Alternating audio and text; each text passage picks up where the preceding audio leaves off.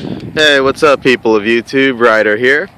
Uh, my KLR is in need of pretty much just a tune-up. So today, I thought I'd show you my four-wheel transportation. This is the Honda CRV 2013 model. Um, this was actually my first car. My folks paid for part of it, and I paid for the other parts.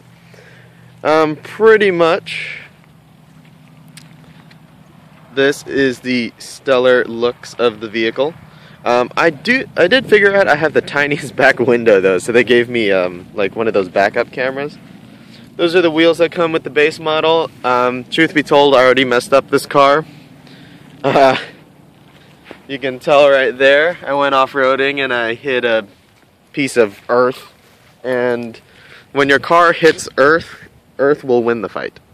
And that's pretty much what it looks like. Um, what I noticed is that the new CRVs, or just SUVs in general, just out there, they're getting very less like sharp. Like it's less square. Like the Suburban is a pretty hardcore looking vehicle. Mine is a city-fied SUV vehicle. My ground clearance is really not bad. It's good enough for most of what you're gonna do. Just don't be going over major rocks thinking you're in a Jeep like I did, because I'm an idiot.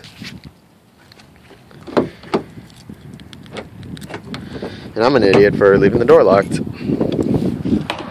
This is where I am today, the usual lake area. I actually never knew this awesome place was out here.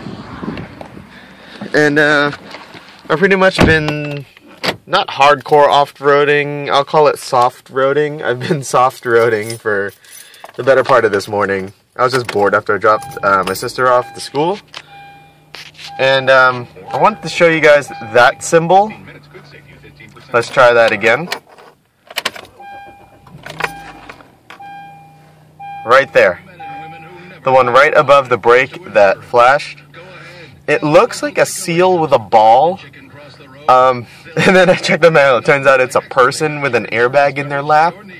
And that just baffled me because I really thought it was a seal with a ball and I didn't know what it meant. Um, there's the amount of miles I did today. And currently it is 50 something degrees outside. It's pretty chilly for Florida, but nothing a hoodie can't handle.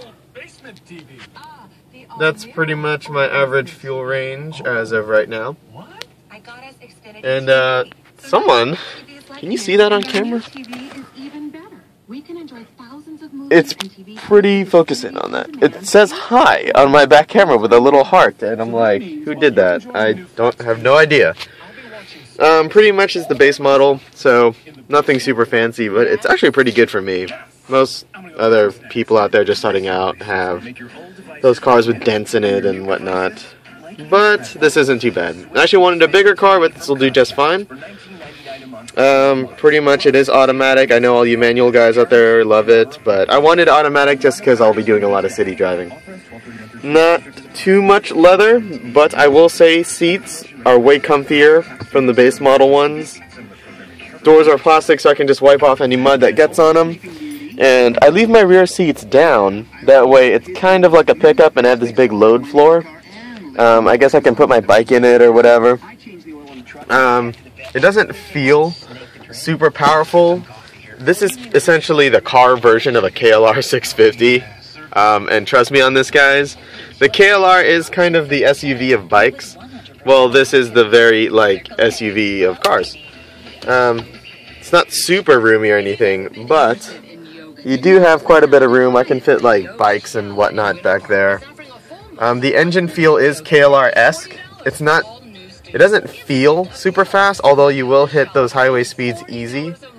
What it does feel like is it feels torquey down low. So that's why I'm pretty much off-roading today. Um, let me know what you think of the CRV, guys, and keep on riding.